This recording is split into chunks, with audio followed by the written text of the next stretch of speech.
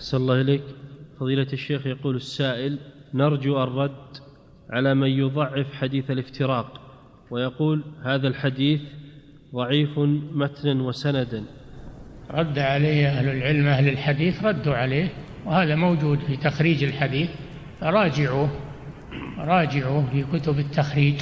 الحديث له روايات كثيرة ومتضافرة والحديث ثابت عن الرسول صلى الله عليه وسلم. ولا يقول فيها مطعن إلا من يريد أن أن أن أن يبقى المسلمون مختلفين.